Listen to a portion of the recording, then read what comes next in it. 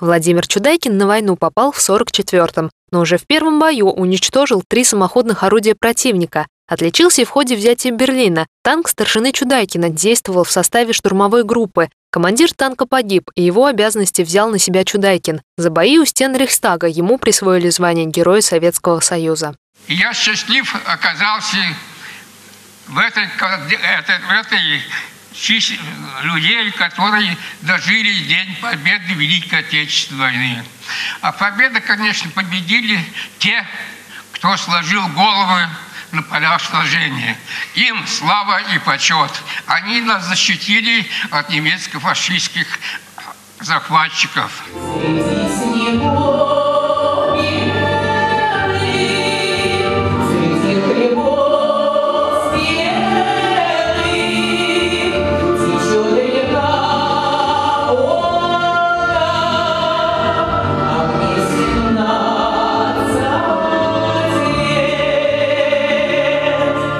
Своей любви к этой песне, а не менее любимой Волжской земле, Владимир Чудайкин не изменяет уже более полувека и во всем отличается постоянством. Со своей супругой Лидией Дмитриевной в прошлом году справил бриллиантовую свадьбу – 60 лет совместной жизни.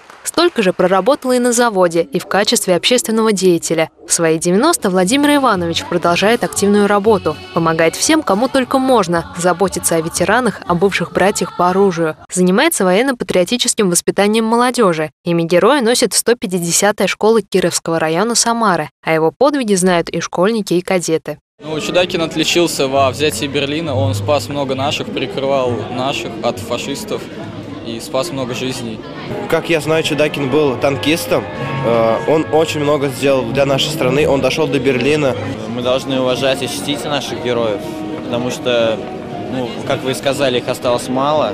Герои Советского Союза, почетного гражданина Самары, в праздничные дни поздравляют горожане и первые лица города.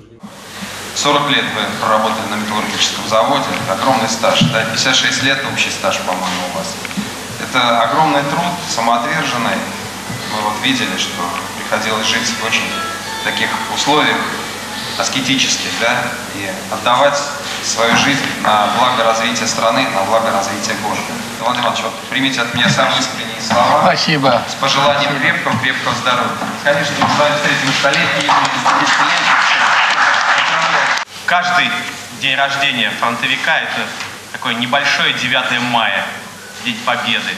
А уж день рождения Владимира Ивановича – это такой уже такой 9 мая у нас, так, да, серьезный День Победы. Ведь в биографии Владимира Ивановича действительно оказалась спрессована, наверное, судьба э, всего поколения.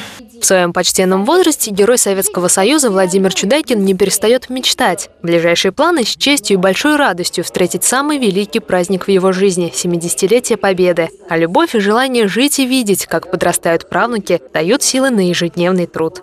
Анастасия Зубарева, Алексей Золотенков. События.